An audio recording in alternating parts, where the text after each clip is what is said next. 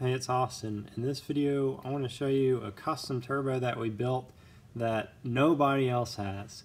This is basically a GT37R compressor wheel, which is 66.6 by 84 millimeter, and these blades taper out to 90.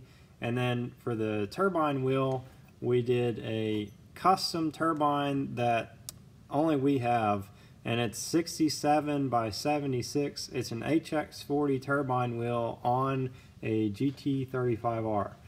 So the idea behind this turbo is trying to get uh, or trying to retain the GT35R spool but create a turbo that's good for a thousand horsepower or or even more. So right now the most amount of power we had out of making one of these uh, turbos basically something similar. We did a GT35R turbine and this compre same compressor wheel and we were able to have one of our customers make 926 horsepower but once it got to around 940 that's when the cage came apart which was predictable because he didn't have an anti-surge cover and he also uh, pushed it to 40 pounds of boost, which is beyond what you're supposed to even run this turbo at anyway.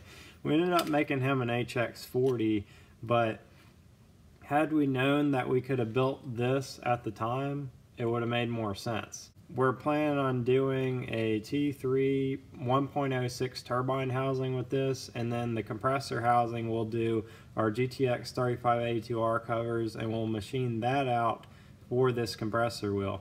Another thing that we did with this turbo is I machined it out for a compressor housing O-ring so that that will seal against the compressor housing because none of them came like that.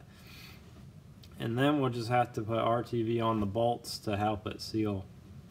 So stay tuned if you want to see how this build turns out.